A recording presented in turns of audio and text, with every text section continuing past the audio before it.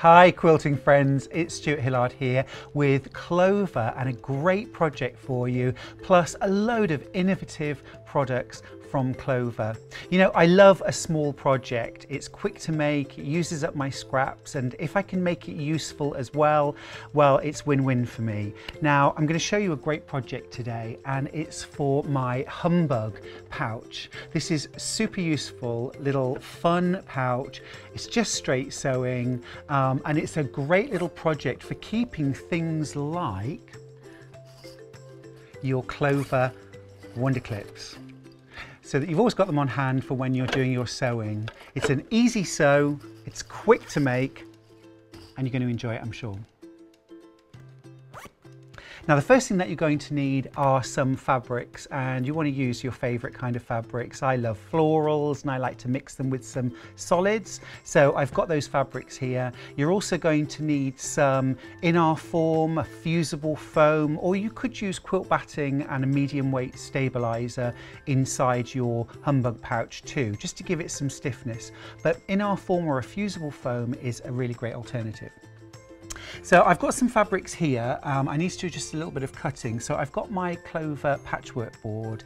It's a great multifunctional tool this because within one board you've got a pressing surface, you've got um, a sandpaper board for doing things like drawing um, your lines for half square triangles on. You've got this anti-slip mat so that when you're using the ironing function, you can put this down on the table and it stops your board slipping and sliding around.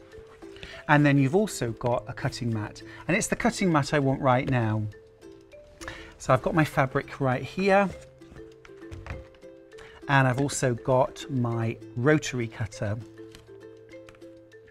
So the first thing that I'm going to do is straighten up the edge on my fabric.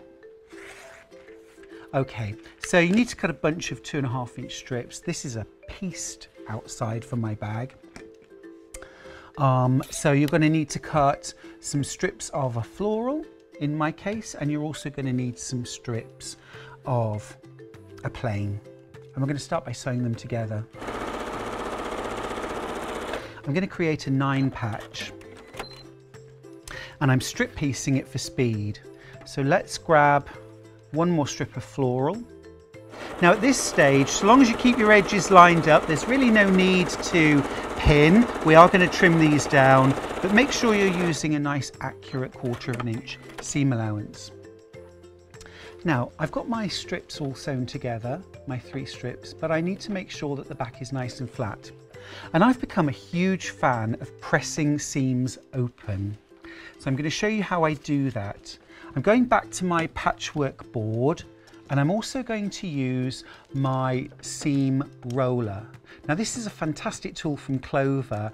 It's really comfortable in your hand. It has this little wheel at the front and it's just perfect for flattening seams and getting your patchwork really flat. So what I'm going to do on the back of my patchwork, I've got this laying down flat now and I'm just going to use my thumb and finger just to open up the very first part of the patchwork. And you can just see that right there. And I'm just going to roll it along that seam. And what this is doing is it's pushing out the fabric really flat. And I can just run along. I'll do exactly the same on this other side. So just start with your nail and just push down the very end once I've done that, I am just going to go over the surface with my iron and again using my patchwork board. Such a fantastic tool. Great if your space is limited and you don't have much room next to you when you sew. I seem to do most of my sewing on the kitchen table. So, and that is so, so flat. And the trick to that is using that seam roller and pressing your seams open it just makes for a really, really perfect flat finish. So once you've made your first set, you need to make a second set. This time I'm going to use two of my plain and one of my floral strips. I'm piecing this, but of course, if you preferred, you could make the front and back of your humbug pouch using plain fabric, just a solid piece of fabric. And if you were doing that, you'd just need to cut a couple of six and a half inch squares. Okay, that's my strip piecing done. And I'll just do a last quick roller of those seams. Okay, there we go. That's the last seam done. And then I can just flip that over and give it a quick press. Okay, so I've got my two strip sets and I can cut these down now to make my nine patch. So again, back to my patchwork board. And what I need to trim here are three two and a half inch segments. And I'm just going to go straight to cutting. So what I'm going to do next is I'm just going to use the sandpaper surface, which although it's great for gripping fabric when you're marking it, is also really useful for when you're laying out your patchwork pieces ready to put together into a block, because your fabric will stick to the sandpaper finish. Now I do want some pins this time, so I'm going to grab my very, very handy Clover magnetic pin case. So this is magnetic. It means that my pins are just going to stick to it. I just love that. It's like a magic trick. So I'm going to pin these together. Now I've got clover flower head pins. Um, and they are absolutely wonderful. I think when I very first started doing patchwork uh, college course, everybody had clover flower head pins and I think they really are the quilter's favourite. They are really fine. They have that lovely flat head and I just want to show you how I've pinned that too. Um, I've pinned in the direction of the seam that I'm going to sew and you'll also notice that because the pins are flat, there isn't a horrible big kind of bump um, when I'm sewing. I'm going to take the pins out, of course, before I get to them, but there isn't a bump that's going to get in the way when I'm sewing. So let's run this through the machine. Okay, we'll go to the last section. Pin that together. And I'm, when I'm pinning my nine patch, I'm not trying to pin through the intersection. I know that a lot of people when they make patchwork would try and push a pin right here, right in this intersection here, but that actually can end up distorting your patchwork and spoiling your piecing. So what I prefer to do is line those pieces up and then I'll just pin around the area that I want to stick together. Okay, let's just stitch that up. And of course you can use these pins pinned in vertically as well. And that flat flower head gives you a great surface just to grab onto and pull out as you get to the pin. So I've made one. I'm going to quickly run through my second set here as well. So I'm doing a little bit of chain piecing to save thread. Okay, grand. Now I use my thread cutter on my machine a lot, but I've got a great pair of clover scissors here where I can just snip any little intersections that I need to. I've got my first nine patch. I do need to give it a quick press. And again, I'm going to use my seam roller for this. And what you end up with, because you've got those seams pressed open, is something which is absolutely paper flat. Now, my next stage, once I've created those pieces of patchwork, is to fix these to my fusible foam. Using my patchwork board, I'm going to lay my piece of patchwork on top against the fusible side and then just working from the centre out, I'm just going to fuse my patchwork straight onto that fusible foam. I've got some finished ones here that I've already done and I've cross-hatched these. Really simple to do, but of course this only looks wonderful if we've got nice straight lines, so we need to mark those first. My preference is to create a mark that doesn't need removing and my favourite tool for doing that is a Clover Hera marker. You could say it's my hero marker. I absolutely love it. It's so easy to use. It's a little bit like um, what we might call a, a bone folder, um, which you can use for paper crafting as well. And it's got a curved edge on it. And this curve edge right here feels really quite sort of um, sharp and finely turned. And you're going to use that to mark your fabric. So simply lay a ruler, patchwork ruler is ideal for this, on top and then make sure that that ruler goes through the center lines and then you're going to use your hero marker and you're going to run it down the fabric. So there we go, I've got that all marked up. I don't know if you can see those creases that the hero marker has created.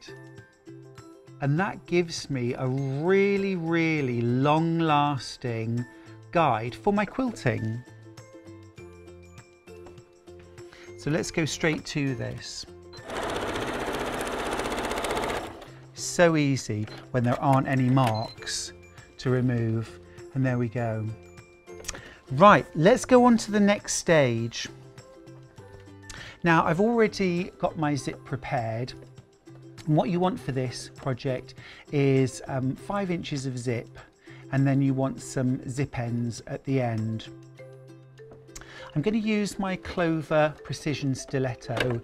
This is a fantastic tool to um, have in your toolbox.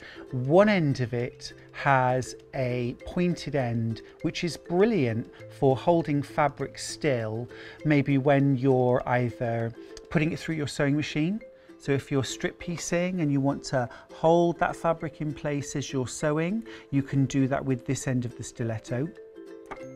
And then the other end of the stiletto is a silicone tip, like a flat silicone tip. And you can use this and you can touch this with a hot iron um, when you're pressing and it's going to hold your work in place while you're pressing without singeing fingers, which is a win in my book. So to create those zip ends, I'm going to just grab a piece of fabric. This is one inch wide by five inches long, and I need to press the edges in. So what I'm going to do is just flip the edge up and press it, but then I'm going to hold it down using my stiletto. And I'm using the silicone end. And what this allows me to do now is I can actually get the tip of my iron right up against that and hold it in place to get a really, really precise press right where I want it to be flip this around. I'm just turning in about a generous quarter of an inch. I'm going to hold that in place using my silicone tip stiletto and just make sure that that's firmly pressed. Last of all, I'll fold the whole thing in half. Again, hold it down with your stiletto and press. Great if you like doing turned edge applique using an iron and starch as well this absolutely wonderful for holding those little pieces of fabric in place or moving them around while you're working. And then all you're going to do to create your zip end using this is to slip this over the end of your zip like this. And it covers the end of your zip really neatly. And then you're going to run that through your sewing machine. And then this extra zip including this metal bit which I don't want I can just cut off so I've already got this one prepared and I'm going to add this in to my quilted patchwork. So I have my two pieces of patchwork here. I'm going to put one down for now and I'm going to grab my lining piece of fabric. So I'm using uh, chambray here. This is my lining and I've also got my zip. So the first thing that I need to do is to place my zip right side down and the right side of a zip is the part that's got the puller on it and I'm going to place that right side down against my patchwork. Now I need to make sure that there's an equal amount of zip end and there is extra which I'll snip off.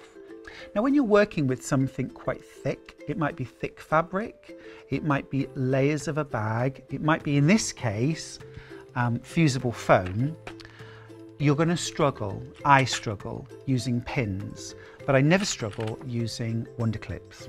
So these are a great product and I think much beloved in the quilting and bag making and dressmaking community. A little clip that I can use to hold those edges together. And they go on easily and they come off easily, which is just as important. And then I'm just going to open up the section and I'm going to pull that zip down just out of the way just to start with. Now it's a great idea here to change your foot to a zip foot. Makes putting on a zip much, much easier. So I'm going to sew down until I get near to the zip towards the actual zip pull. So I can feel it now, it's about here. So I'm going to stop, lift my presser foot, move that fabric away, and I'm just now going to pull that zip right back up to the top. It's out of my way, I can carry on sewing. Again, just move those clips out of the way as you go. So all I've got to do now is sew along, keeping my needle close to the edge of the zip.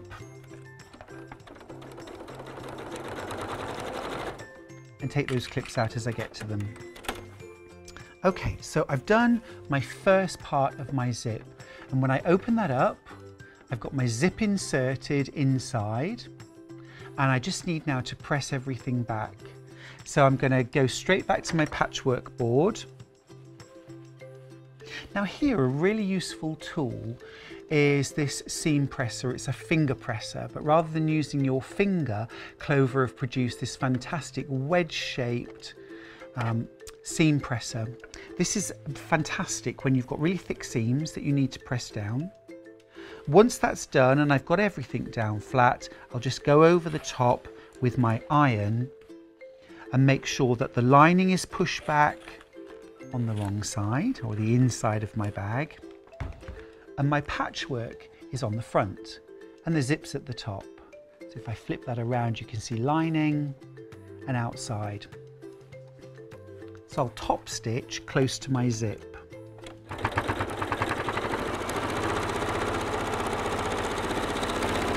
And that's that zip inserted on one half of my humbug pouch.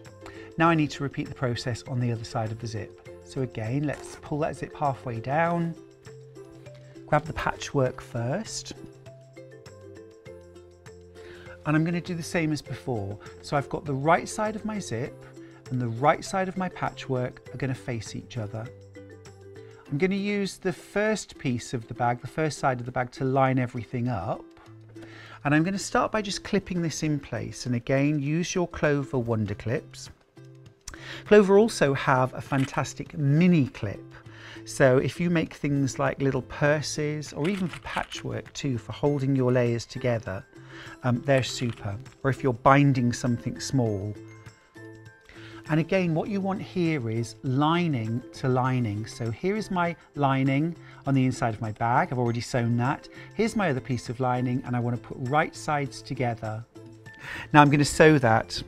So make sure you know where your zip pull is before you start sewing.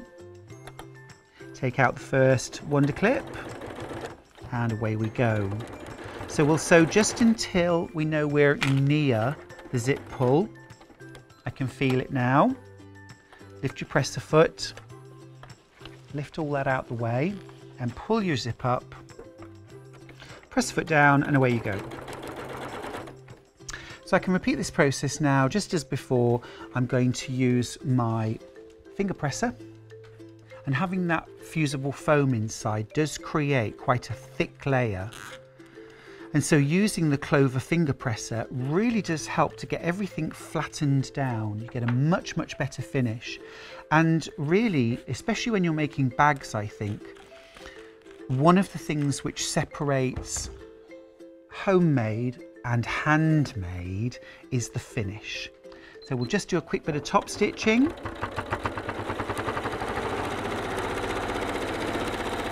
Okay, that's done. So I now have my outer bag, I've got my zip and it's fully functioning. Check that before you move on. And then I've got my lining on the reverse side. I've still got these ends to get rid of and I'm going to use my wonderful clover scissors to do that.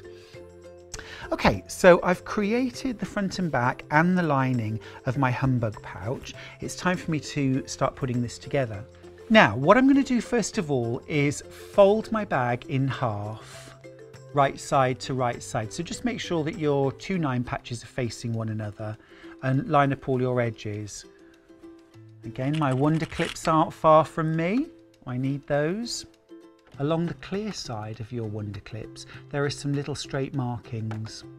And these straight markings actually refer to a quarter of an inch seam allowance, 3 eighths of a seam allowance and half an inch seam allowance. So you can actually use your wonder clips not only to hold things together, but also to measure your seam allowance. So I've got those two sections clipped together. There they are. And this is the bottom of my bag and I'm leaving this open. So let's go straight to the sewing. Take your time when you're sewing through thick layers and allow your sewing machine to feed the fabric through nice and evenly. Another recommendation whenever I'm making a bag, I always use a needle size 100. Okay, so that's that side done. I'm going to do exactly the same on the other side. Okay, side seams are done. Now at this stage, we've got raw edges at the moment, which we could zigzag over, we could overlock, but I'm going to show you a different technique for finishing those edges, which uses another favourite Clover product of mine, which is the bias tape maker. So the first thing that I need to do is cut a little fabric. My patchwork board has never felt more useful. And I'm going to trim some fabric. Now what I've got right here, I've got some pretty floral fabric. If you're going to have binding, why not have beautiful binding? Let's get this cut then. So one and a half inches wide. I'll cut a little more than I need. And I'll just trim the end with my scissors. Now the other thing that I like to do is to just create a little bit of a pointed end.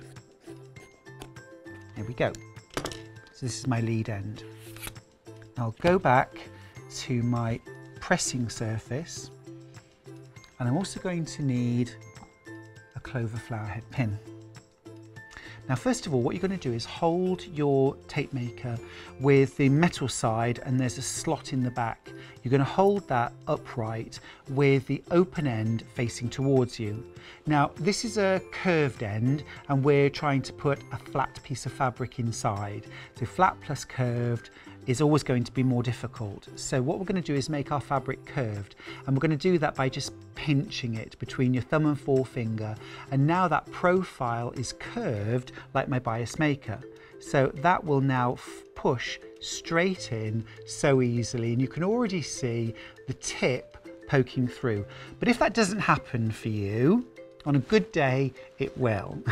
just use your clover pin and just stroke down that center slot until that end appears and then pull. So you'll start to get your bias tape coming through the end of your tape maker. Now go to your pressing surface and press that nice and flat just to get you started off. Next, grab a pin and you want to pin the bias tape, the start of the bias tape, to your board. And then you're going to keep the edge of your iron up against the metal tip. Hold on to this part and then gently pull back on the tape maker. And keep those two edges together as you pull back. And now I've got a piece of bias tape, or straight of grain tape actually in this case, um, which I can use to bind the edges. So I've got my piece of tape here. And I'm just going to cut a strip to about the right length. And what I'm going to do is open out the tape, open out one of the folds, and I'm going to put this top raw edge against the raw edge of my fabric right here at the top. And what I need to do now is sew along a quarter of an inch. You can, if you're feeling daring, actually apply the tape while you're constructing your bag, but I like sewing, so a little extra step for me is not an issue. Now again, when you get near the top, you might want to just hand crank the last few stitches. So I've now sewn that binding. Now I like to trim my seam back a little bit and again my Clover micro serrated scissors are wonderful for this because they're going to go through all of those thick layers so so easily and I'm just thinning down my seam allowance. I don't want all that bulk. Okay, perfect. And now my tape can come over the top and then cover that raw edge. And it also means that the inside of my bag looks really pretty. Now you can hand sew that down if you want to, but I'm a quilter in a hurry for some things. So I'm going to use my clips again, my Wonder clips, and I'm going to machine sew. So that binding is now held in place and I can run this under the machine and I can top stitch that. So I'm starting at the top. So I'm just going to do a few hand crank stitches to start me off. And then I can machine sew that binding in place. And there you can see now that my binding is neatly sewn in place. There we go and then from the other side it really just see a little line of stitching in the ditch. And then I'll just snip off the ends. One end is going to be hidden away in the very very top of the bag. The bottom edge is going to be covered when I actually put my bag together. Now I'll just show you what you can do if you don't want to add a binding. You can zigzag over the edge. I've got my other raw edge on this side and I'm just going to push this through with a zigzag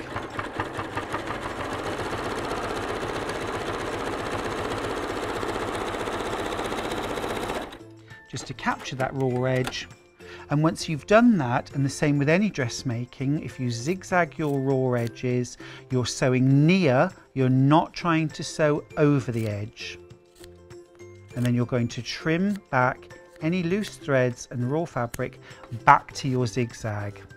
If you try and just zigzag completely over a raw edge, you end up with a curly edge. And so you can see there, that's the zigzagged edge on one side, which still looks pretty neat, but I must admit I am rather in love with a bound edge using the bias tape maker from Clover. So what I'm going to do is I've got the bottom of my bag which is open. I've also got my zip at the top which is open, well remembered. And I'm going to bring those two edges together.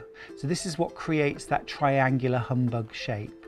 And I'm going to put my two um, either overlocked or bound edges together at the top. So you can see I've just kind of gone from flat to 3D. Okay. So clip either side of that intersection. Don't try and put a clip right over the top. There we go. So that's all starting to look like something now. Go back to my quarter of an inch seam allowance and I'm going to sew this section. I'm to keep everything nice and flat, especially in the center intersection when you get to it.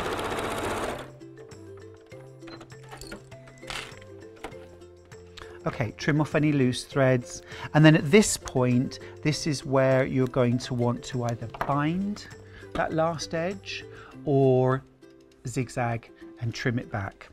I'll leave it for now so I can do the sort of final reveal. So we've got our zip open here.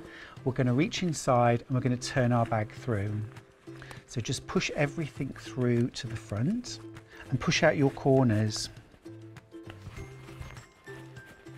You can use a pokey tool here. I find my precision stiletto very, very useful here to push out those corners. And while everything's still flat at the bottom like that, just give it a quick press. And then the same at the top of the bag too. You want to push out those corners. Now there's quite a lot of bulk in there, so take your time pushing those out. And you've got those little zip ends which will help. Push that corner out, finger first and then you can go in with your precision tool. So just push that corner out. And you can see there at the top what a lovely nice neat finish you get. And do your zip up. And there is your completed, very cute little humbug pouch. All you need to do now is to decide what's going to go inside. I think my wonder clips need to go in here so that I've always got them safe and I've always got them with me whenever I want to do some sewing. I hope you've enjoyed this tutorial brought to you by Stuart Hillard and Clover and I hope you'll enjoy making your little humbug pouch using Clover Notions. Thanks for joining me.